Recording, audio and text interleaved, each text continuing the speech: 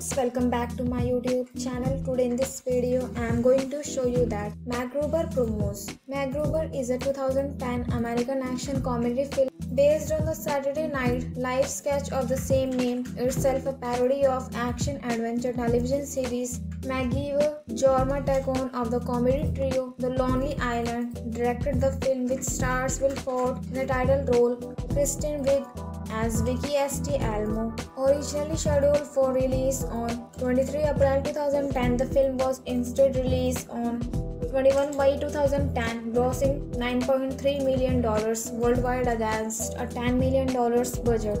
Six months later, at MacGruber and Vicky's wedding are his dead team members as ghosts, mirroring his wedding to Cassie. MacGruber sports Cunth with an RPG. He saves Vicky and battles Cunth, throwing him off a cliff behind the altar, shooting him with a machine gun, and launching a grenade as he falls. So, friends, I hope you like this video. If you like this video, please hit like the button and subscribe my YouTube channel. Thanks for watching this video.